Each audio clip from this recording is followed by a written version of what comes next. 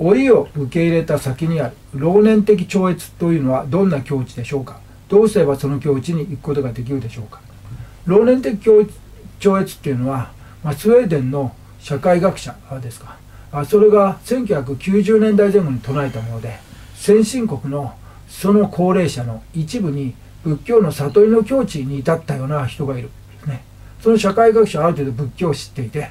まあ、例えば要するに世界と一体となった感じだとかそれから日々これまた感謝というか生きてるだけでありがたいっていう気持ち感謝知足たるを知るっていう感覚ですね、まあ、要するに欲望が減って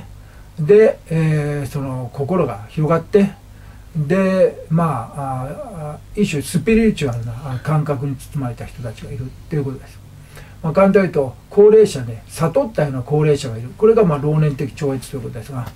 そういった北欧社会だけじゃなくて日本においても心理学者が調査すると確かにそんな感じの人がいるということが分かっています。しかもその人たちはですね必ずしも順風満帆の人生っていうよりいろいろ苦労しながら、まあ、それを乗り越えてきた人。ですね、えー、それに多いと言われています。暗く表裏の考え方、まあ、苦しみも今ここに自分が至るための、まあ、必要な要素だったんだっていう前向きに捉えるような力。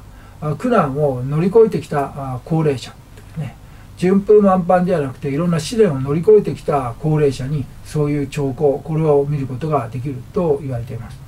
まあ、これはまさに仏教的な思想暗く表裏、えー、万物に頓着しない、